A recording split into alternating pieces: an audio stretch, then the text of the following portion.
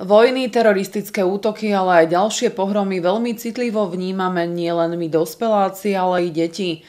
Aj keď sa ich snažíme ochrániť, veľmi dobre vedia, aký je rozdiel medzi životom a smrťou.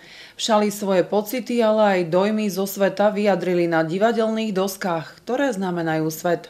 Po dlhých rokoch môžeme povedať, že Šala sa stala akýmsi symbolickým domovom celoštátnej postupovej súťaže a prehliadky detskej dramatickej tvorivosti Zlatá priatka. Májový 46. ročník bol rekordný, zúčastnilo sa ho až 16 divadelných súborov. Organizátorom tohto krásneho podujatia je Mestské kultúrne stredisko Šala. Je to obrovské podujatie, na ktorom sa zíde e, vyše 300 účastníkov vyše 250 detí. Národné osvetové centrum e, vyhlasuje každoročný súťaž e, v detskom divadle alebo v detskej dramatickej tvorivosti hlavne preto, e, čo už obsahuje ten samotný názov, tá tvorivosť, aby deti si prostredníctvom divadla rozvíjali fantáziu. Každý rok máme nejakého hostia zo zahraničia. Tento rok to budú deti zo základnej školy Janka Čmelíka v Starej Pazovej. V 8 krajských kôl, ktoré predchádzali celoštátnej súťaži v Šali sa zúčastnilo takmer tisíc detí a 60 divadelných súborov.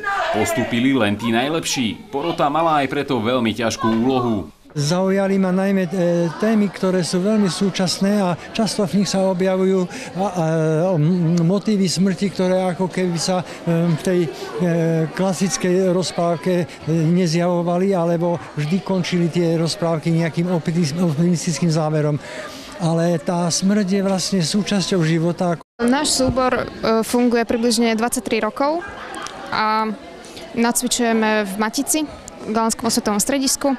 Sme šťastní za to, že to hráme, pretože hey. je to vážne pekné. Áno. A sme na to hrdí.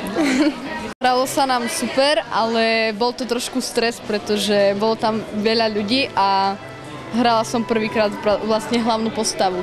Odborná porota udelila niekoľko cien. Na vrcholnú celoštátnu prehliadku divadelných súborov Scénická žatva, ktorá sa uskutoční koncom augusta v Martine, postúpil detský divadelný súbor Modré traky z mesta Vráble a detský divadelný súbor Dream z Nitry. K postupu im samozrejme gratulujeme. Viktor Bokor, Televízia Kreja.